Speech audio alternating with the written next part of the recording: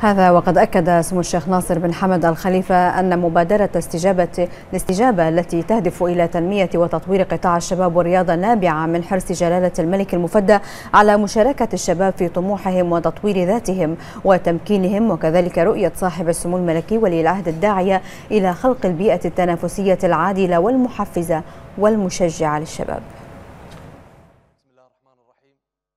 دعم ورعاية وتشجيع إنجازات ومراكز متقدمة في جميع المحافل المحلية والدولية. جاءت عبر جهود مخلصة وعطاء كبير قدمها وما زال يقدمها سمو الشيخ ناصر بن حمد الخليفة ممثل جلالة الملك للأعمال الخيرية وشؤون الشباب رئيس المجلس الأعلى للشباب والرياضة رئيس اللجنة الأولمبية البحرينية. إنجازات عظيمة تأتي لما يحظى به قطاع الشباب والرياضة من اهتمام ودعم مستمر من لدن جلالة الملك المفدى الداعم الأول المحفز لمواصلة تحقيق المزيد من الإنجازات. سيدي جلالة الملك الله يطول عمره. علمنا سر الفوز والنجاح. علمنا سواء كان بطريقة مباشرة أو طريقة غير مباشرة. وأنا من حسن حظي حصلت الطريقة المباشرة. ربيت من الصغر أشوف جلالة الملك وأتعلم منه. ويشوفني أفوز ويشوفني أخسر. لكن ما يغير في مبدأه أي شيء. دائما يدفعني أني أنا أروح للأفضل. واليوم كثير من اللي تعلموا بهالطريقة المباشرة من وزراء ومسؤولين يقابلون جلالة الملك ويشوفونه ويوجههم. وأيضا من الناس اللي استلهموا من كلمات جلالة الملك وبرامجه وتطلعاته للبلد.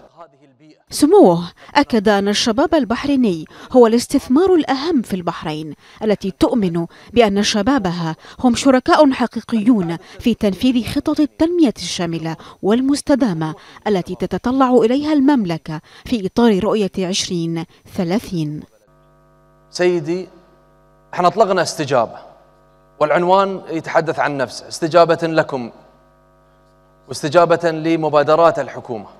واستجابة لرغبات الناس. وهناك أسس كثيرة وضعناها على أساس أن إحنا نوصل للصورة المطلوبة. طبعا إحنا نقتبس دائما سيدي من كلامكم واليوم بعد أيضا عرضوه وأنتم ذكرتوا أن لخلق هذه البيئة التنافسية المنفتحة العادلة. إذا وصلنا وخلقنا هذه البيئة طبعا راح نوصل وكل راح ياخذ حقه. وأيضا لا ننسى طويل العمر رأيتكم ونظرتكم إلى عام 2030 إحنا رسمنا هذا الطريق وثم ألهمت دول كثيرة منها دول في الجوار ومنها دول أخرى إن شافوا المقياس 2030 هو الرقم الصحيح والواقعي إن إحنا نحط هدفنا ونوصل له.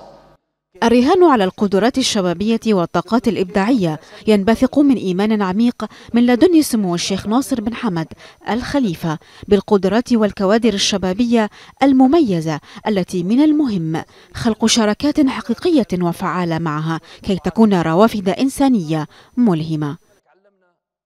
فطول العمر إحنا في نهاية المطاف في مجلس الأعلى للشباب والرياضة نتكلم عن شقين.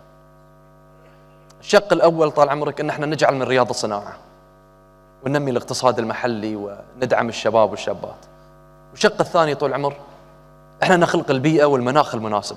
سيف سين سبورتد ثقة سموه في أن الشباب لديه طاقات هائلة قادرة على تغيير العالم من خلال المساهمة الفعالة في طرح رؤى خلاقة وإبداعية لتنفيذ أهداف التنمية للوصول إلى غايتها المنشودة محليا وعالميا.